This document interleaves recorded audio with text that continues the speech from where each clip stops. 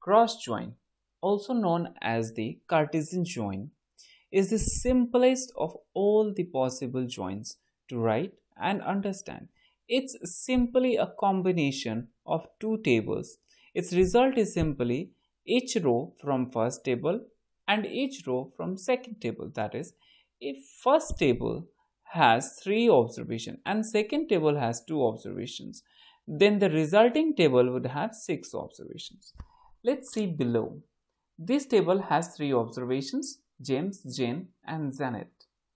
And here we have two observations which are height. So what will happen if you join these two with a cross join? You would have this kind of result. So welcome to the channel. To understand the concept very clearly, please watch the video till the end. Once you are done with watching the video, do not forget to like, com comment, subscribe and hit the bell icon. So let's go ahead and watch it in detail. For example, you have been given two variables. Let's understand this cross join in terms of mathematics. So you have been given two variables x and y wherein you have to multiply these two variables with 2. So what the result would come?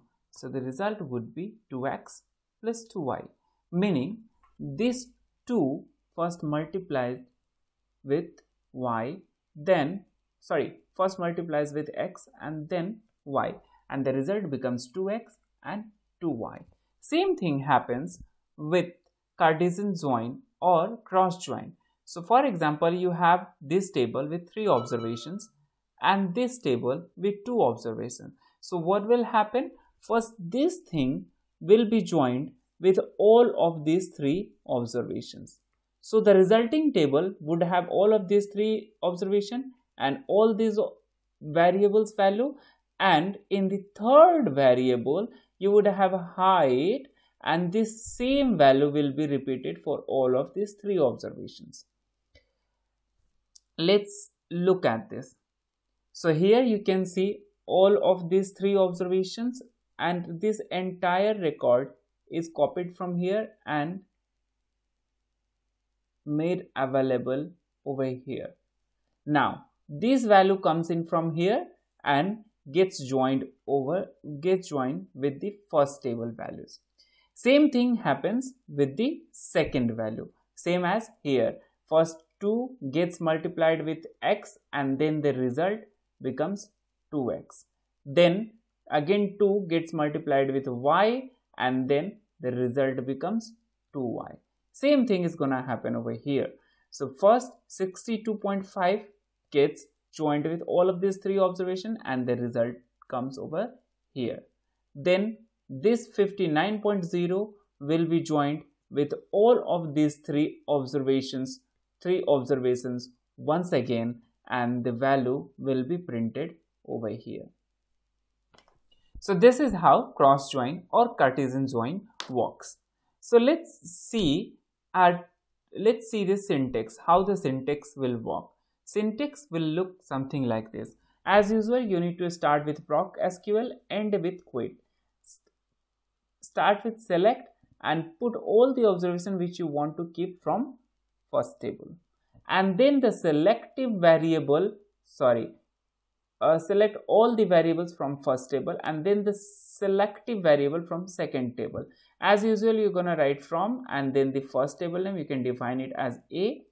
Then you need to provide cross join and then the second table name you can define it as b. One thing to notice in all of the joins which we have learned so far everywhere we had to provide on and then the common key common key all right but here that is not required. It's not required over here. In cross join that is not required. So all that you need to write is proc sql and then select a dot star means all the variables from first table or if you want to keep selective variable from first table you can just list down list them down over here. And then this uh, all the variables which you want from second table you can list down them over here. Please note if you take if you keep multiple variables from second table then the observations will get multiplied. So for example if you are taking two variables from first table and each variable contains one observation then the result would have and three observation from first table then the result would have again six observation. And in the same way it will get multiply as many variables uh, you uh, as many variables you select from the second table. Let's go to the SAS session and try doing this. Here we have these two tables. One is personal info and the second one second table is first one is personal info and the second one is physical info. We're going to join these two tables with cross join. Let's write this statement. Proc sql quit select a dot star comma b dot star or maybe height. Let's see what all are the values. Since it has one variable we can also write uh, a star but i'm just gonna write the variable name. From work dot personal info. If you want you skip writing work because that's the default library. Oops it's not all. Then cross join. Sorry. Cross join. Second table name which is work dot.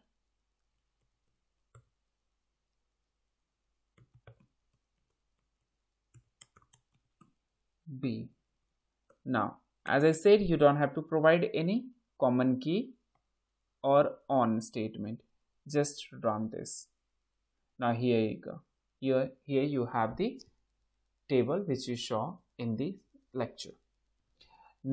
So this is how the cross or Cartesian join works. It's simply multiplication of the observation from two tables and simply combination of two tables. All right.